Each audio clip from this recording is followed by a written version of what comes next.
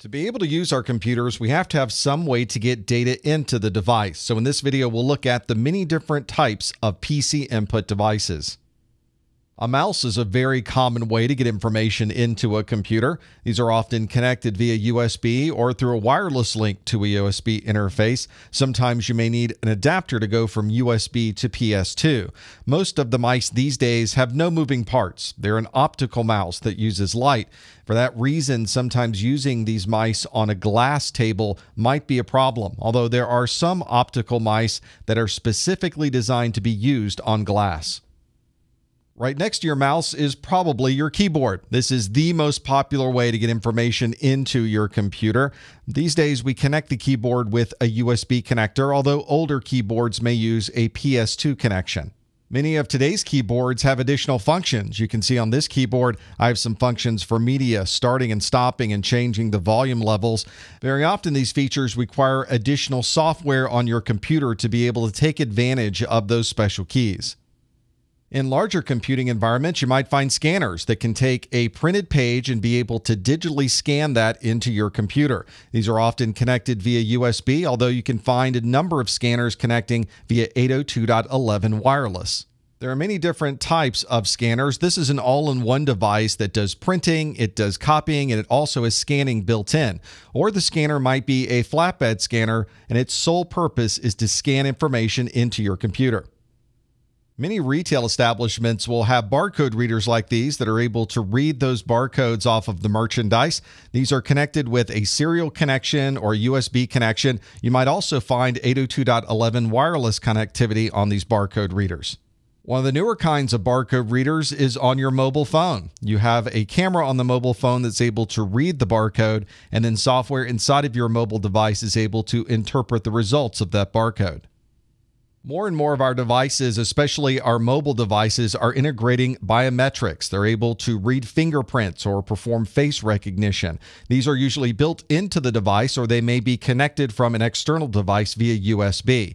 You can see the fingerprint reader built right into the pad that's on this laptop. And here's a device that has a fingerprint reader built right into the side. So you can walk up, scan your finger, and gain access to the device.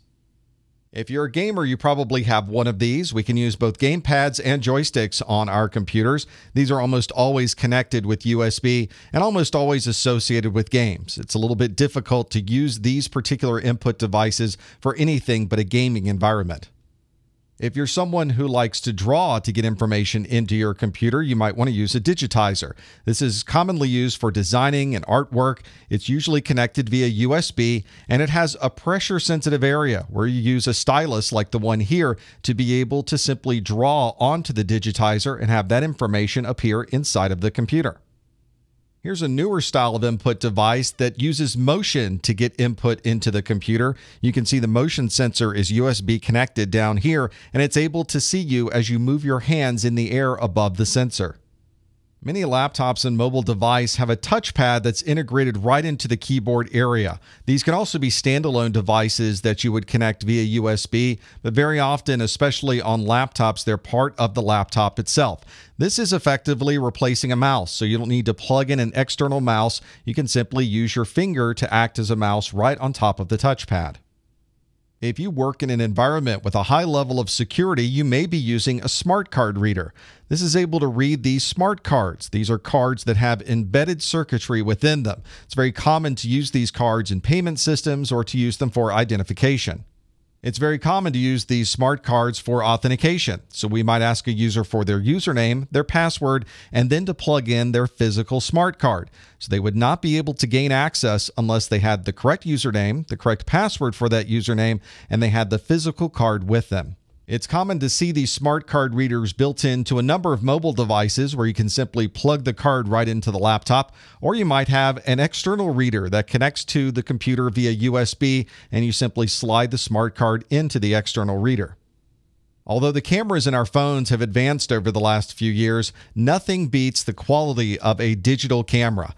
To be able to input the pictures from the digital camera to your computer will often plug in directly with USB. The camera may support 802.11 wireless file transfers, or you can disconnect the memory card from the camera itself and plug it directly into your computer.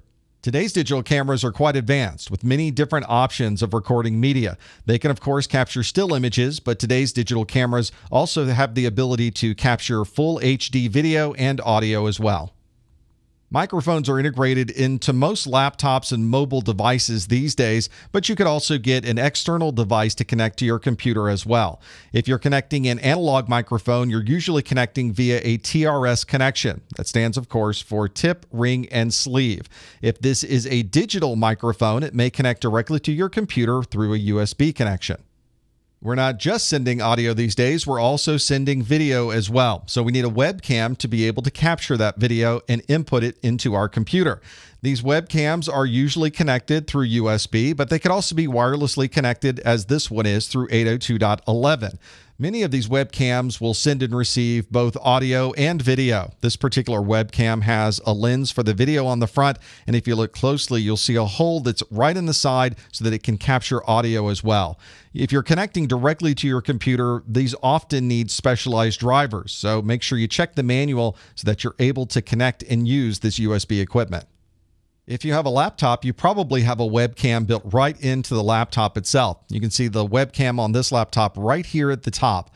If we zoom in, we can easily see the camera lens. Right next to the camera lens is a light that lets you know if the camera is on or not. And this particular laptop has a left and right audio microphones on the laptop as well.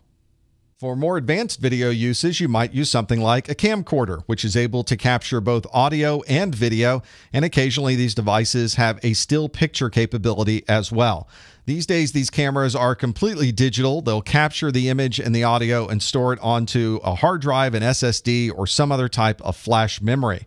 There are many different ways to get these videos from the camera into your computer. One way is through USB, but you may need higher speed connectivity through something like FireWire.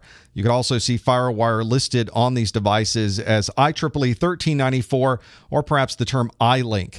These cameras today can also communicate through 802.11 wireless, or you could simply pull the memory card out of the camera and put it right into your computer. If your computer supports input via HDMI, you can output from the camera directly into your computer and use that signal as your video source for video conferencing.